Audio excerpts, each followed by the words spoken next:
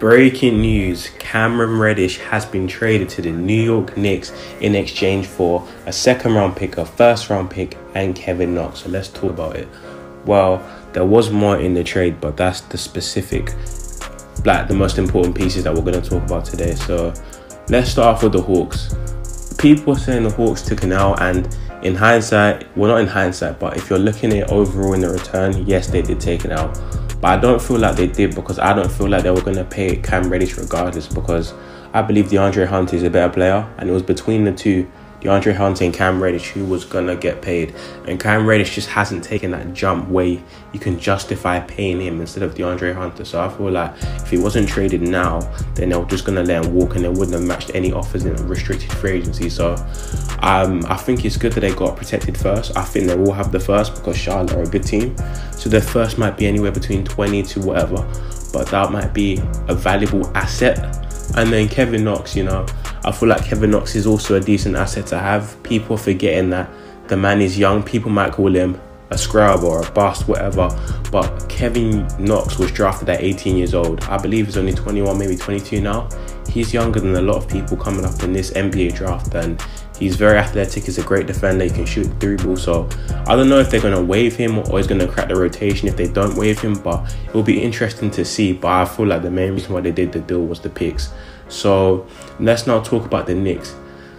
Funny enough, I'm a bit skeptical about how this works because if you look at the Knicks right now, Woj's tweet did say that the Knicks are promising him a much bigger role, but how much bigger? Because in the wing position, you have you have who do you have? You have Alec Burks is playing point guard, but he can play small forward. Evan Fournier is like a two slash three. You then have oh, I'm forgetting his name. I hate when this happens.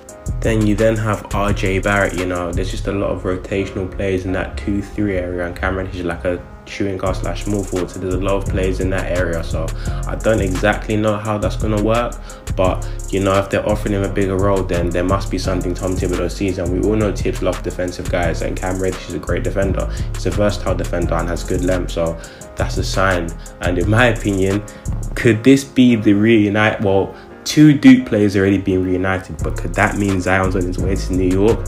Imagine that Zion, RJ Barrett, and Cam Reddish all on the same team, just like it was in that 2018 Duke season. It'd be crazy, but also 2019. The 2019, yeah, the 2019 Duke season, my bad.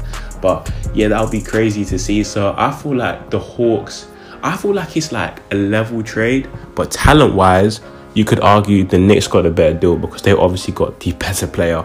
But for the Hawks, it's not an L because you got a first round pick for something you didn't plan on keeping anyway. So I don't really see it as an L. But I really do hope Cam Reddish can can flourish and do well because I'm a strong believer in Cam Reddish. I feel like the Paul George comparisons are a bit, you know, a bit too people are getting a, a, bit too ahead of themselves. But I feel like Cam Reddish is a very good player, and he's one of them players where if you look at his intangibles, he doesn't have that many weaknesses skill set wise. Like he can create his own shot, he can shoot, he can defend. It's more of just ironing out those places and making him and him being more comfortable in those areas. But overall, I feel like Cam Reddish has a lot of potential, and I'm interested to see how this trade can pan out. So that's all I've really got for this video. Actually, no, it's not. But the Hawks do need defense. So, like I said, it'll be interesting to see if that first round pick is packaged in another deal, or I don't know. But there's rumors about Ben Simmons, but I just don't see that happening. I don't see the Sixers interest in John Collins. But yeah, that's all I've got for this video. I feel like it's a decent trade, and I'm